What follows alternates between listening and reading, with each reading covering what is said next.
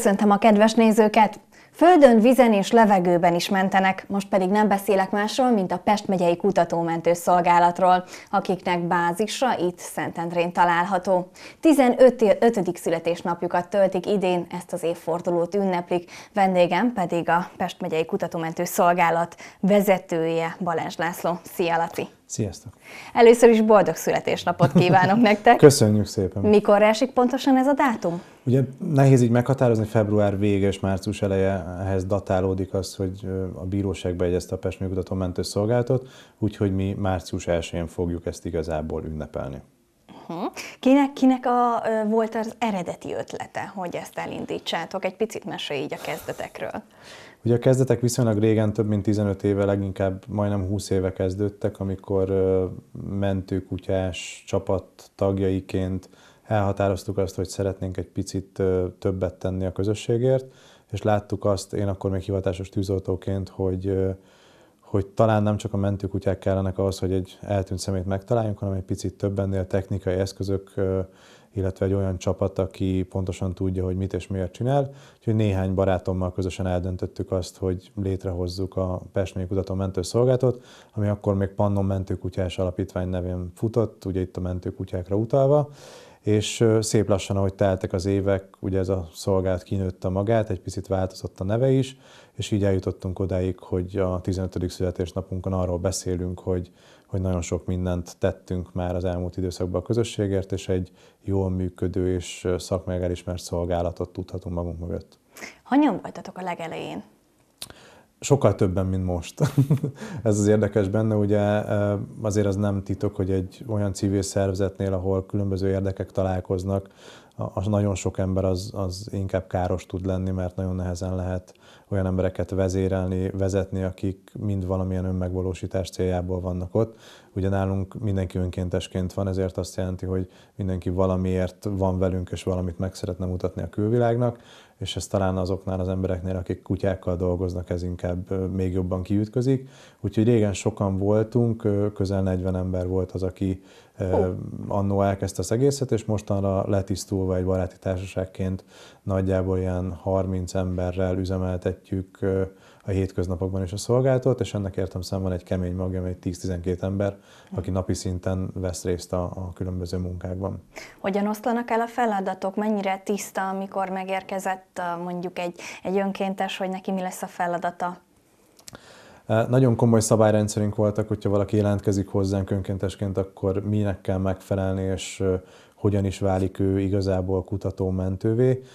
Azért napjainkra ez letisztult annyira, hogy nagyon egyszerű szabály van, hogyha valaki szeretne hozzánk csatlakozni, és alapvetően egyetért a mi, a mi tevékenységünkkel, akkor tártkorokkal várjuk.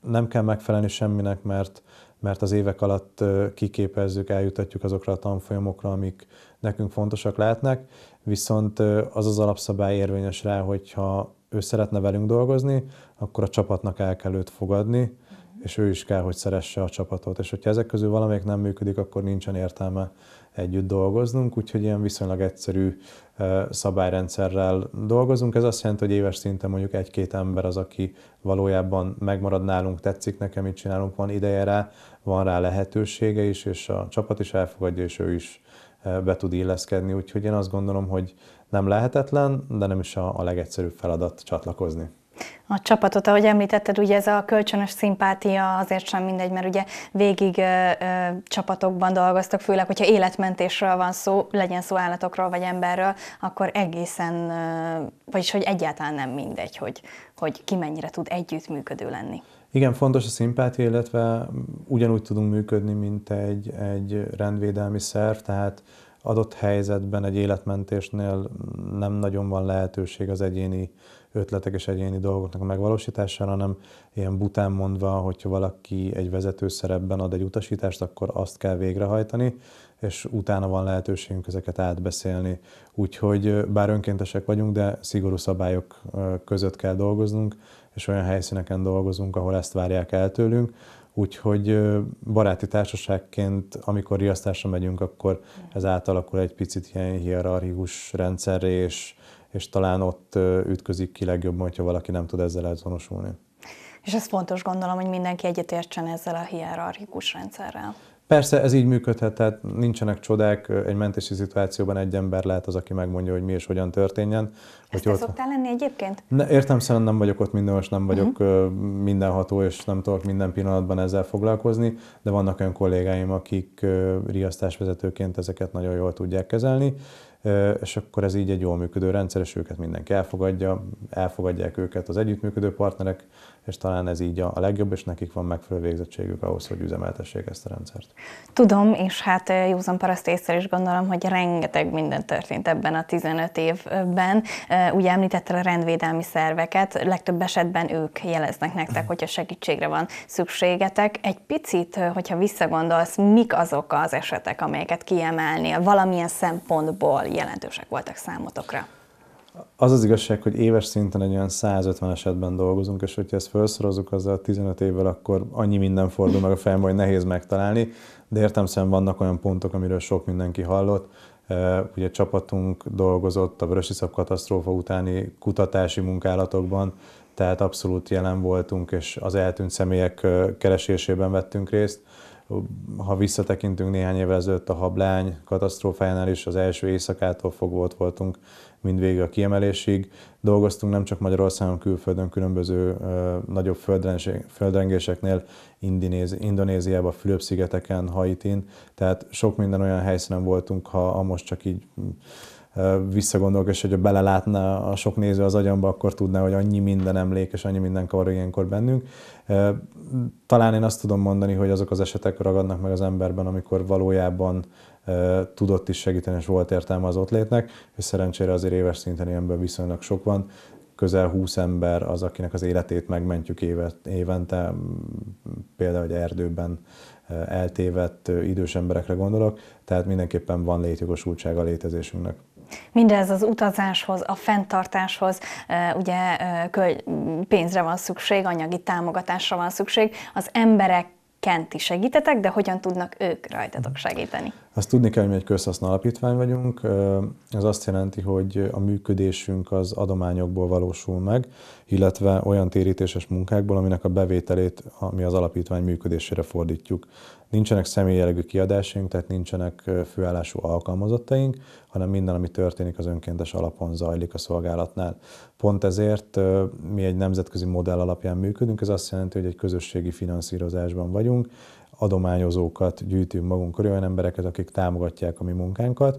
Itt nem kell nagy dolgokra gondolni, ezek az emberek havi 1000-2000 forinttal segítik a mi tevékenységünket, ami azt gondolom, hogy egy, egy átlag életet élő állampolgárnak azért megengedhető, hogy, hogy mondjuk 1000 forintot arra kölcsön, arra a szervezetre kölcsön, aki számára szimpatikus, illetve ami nagyon-nagyon fontos nekünk az adó 1%-os időszaka, ugye amiben most fordultunk pont bele, egy átlagos keres, átlagosan kereső ember nagyjából 6-7 ezer forintról rendelkezik, amikor az adó 1%-át adja egy ilyen szervezetnek, és fontos megjegyezni azt, hogy hogy a tavalyi évben közel 20 milliárd forintról nem rendelkeztek az emberek. Tehát mi arra ösztönzünk mindenkit, hogy ne csak nekünk, hanem, hanem a számukra fontos szervezeteknek adják oda az adó 1%-ukat, mert ez gyakorlatilag, ha magunkra vetítjük, akkor bár 36-37 ezer ember követ minket a közösségi oldalunkon, de mindig csak 1700-1800 ember az, aki veszi a fáradtságot idézőjelbe, és valójában rendelkezik róla, és oda is adja nekünk az 1%-ot. Hogyha ez a duplája lenne, akkor, akkor nem kellene erről beszélgetnünk, hogy bármiféle anyagi problémával küzdködünk, hanem egy nyugodt és higgadt működést tudnánk magunknak biztosítani.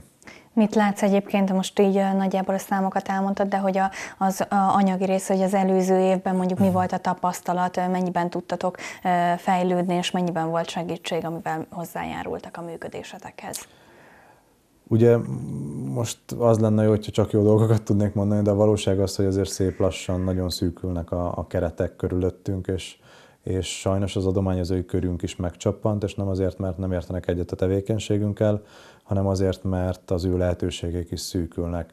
Tehát nagyon-nagyon bízunk benne, hogy hamarosan valami nagyon komoly változás lesz, mert ilyen szép lassan haldoklik az adományozói kedv. Uh-huh. Ez azt jelenti, hogy, hogy, hogy az, a, az a közösség, aki minket támogat, annak egy része továbbra is próbál segíteni nekünk, csak mondjuk megfelezte a, a havonta részünkre jutatott összeget, a másik fele meg biztosít róla minket, hogy, ha változik a helyzet, akkor újra fog minket támogatni, de most csak jó szavakkal tud segíteni. Mm. Tehát összességében azt gondolom, hogy nem csak mi, hanem minden más ilyen civil szervezet azért igen nagy problémákkal küzd.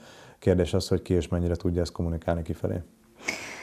Említettük már itt a, az eseményeket, illetve az életmentéseket, mindez eszközre is szükségetek van. Mik voltak azok, amik így az évek során folyamatosan, és az elején említetted is, hogy rájöttetek, hogy nem csak kutyákra van szükség, hanem egyéb más eszközökre is. Hogyan alakult ez az eszközpark? Ugye itt visszacsatolnék oda, hogy, hogy, hogyha valaki ezen gondolkodik, hogy amúgy mit is csinálunk mi, akkor, akkor nem is gondol rá, hogy milyen hihetetlen eszközparkot kell fenntartani. Tehát ahhoz, hogy mi el tudjunk jutni a helyszínekre, ahhoz értelmszerűen olyan szállítójárművekre van szükség, ahol a csapatot, a mentőkutyákat, az eszközöket el tudjuk juttatni. Ugye a mi munkánk az a betonút végeztével nem áll meg, hanem be kell mennünk az igazán nehéz terepekre is, terepjáróval rendelkezünk, illetve olyan kvadokkal, ugye ezek ilyen négykerekű terepjáró képességgel rendelkező járművek, amiket gyakorlatilag bármilyen helyszínt meg tudunk közelíteni, és ugye minél speciálisabb eszközről beszélünk, annál drágább a fenntartás értelmszerűen, tehát még egy átlagos autó szervizén is néha összerezzennek az emberek, hogy mennyibe került. Ha egy ilyen kvadra gondolunk, akkor általában ötször annyiba kerül egy szerviz, és ahogy egyre bonyolultabb eszközökről beszélünk, egyre drágább minden hozzájuk illetve rendelkezünk különböző drónokkal, tehát levegőből is tudjuk támogatni a, a, a személykereséseket, tevékenységünket, illetve vízen is, ugye aki Szentendrén járt nyári időszakban, egészen talán január végéig láthatta a vízen a egyik mentőhajónkat a Dunakorzónál, most éppen egy nagy átalakításon megy keresztül, illetve sikerült lecserélnünk ezt a hajót, és egy sokkal nagyobb, modernebb mentőhajóval fogunk dolgozni, úgyhogy bízunk benne, hogy március közepén vissza tudjuk rakni már vízre az új hajót, és azzal tudunk nekiállni majd a szezonnak. Úgyhogy én azt gondolom, hogy ágazó és nagyon sok minden eszközzel rendelkezünk, de ennek a fenntartása sajnos most így épp omlik a fejünkre. Ezt az új hajót, ezt jelenleg hol tudjátok tárolni? Ugye most ennek a hajónak, az új hajónak az üzembe helyezése és átépítése zajlik a, a mi elvárásunknak megfelelően, úgyhogy ez most a Kovács László utcában van épp darabokban szedve, úgyhogy nem szép látvány, és szép lassan a, a kollégák munkának köszönhetően építjük össze darabokból darabokból. Ez azt jelenti, hogy, hogy ez már egy hőkamerával ellátott hajó lesz, tehát itt a téli időszakban is tudunk majd dolgozni, és minden olyan modern eszközzel fel lesz szerelve, ami, ami hatékonyan tudja segíteni a, a vízen dolgozó munkáját, illetve a vízen bajba kerülők mentését.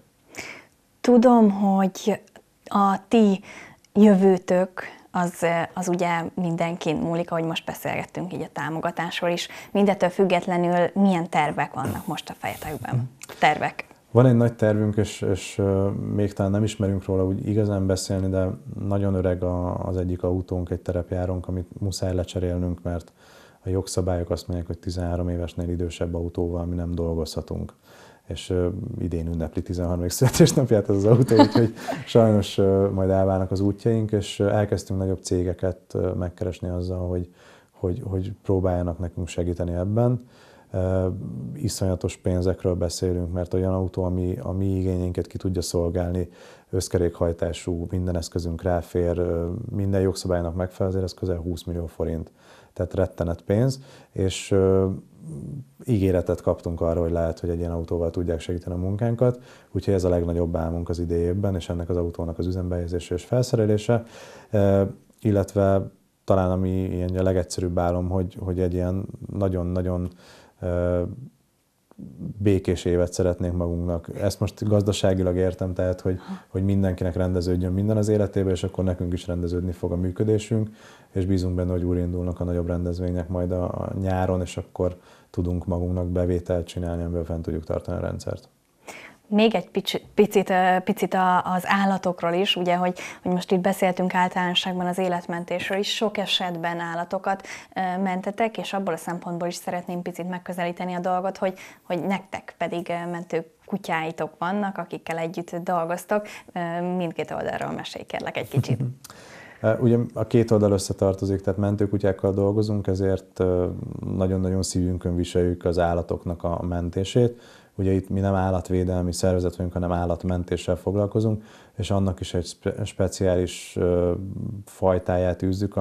Azokban a helyzetekben tudunk mi segíteni, amikor senki más Uh-huh. Tehát itt nagyon sok hívás érkezik hozzánk, napi szinten 7-8 olyan hívásunk van, hogy fönt van egy macska a fán, és menjünk el, mentsük meg, és ez egész országról hívnak minket ilyenekkel. Oh. Értelmszerűen nincs, nincsen rá lehetőségünk, és nincsen rá erőnk, eszközünk, hogy ezt, ezt mindenkinek meg tudjuk oldani, de például a macskáknál volt olyan cica, aki négy napja egy tetőn mozdulatlanul kapaszkodott a tetőbe, és ott mi is azt tudtuk mondani szakmailag, hogy ő nem fog lejönni, mert mindenki mondja, hogy persze a cicák sosem maradnak fönt a fán, de valójában az van, hogy van azért néhány eset, amikor tényleg annyira rossz paszban vannak. Legutóbb például a 11. kerületben egy ilyen cicához mentünk ki, ahol egy ilyen speciális emelőkosaras járművel sikerült megközelíteni a helyszínt, és le tudtuk menteni a cicát, aki kiderült, hogy a 16. kerületből tűnt el hónapokkal ezelőtt, és így jutott vissza a gazdájához.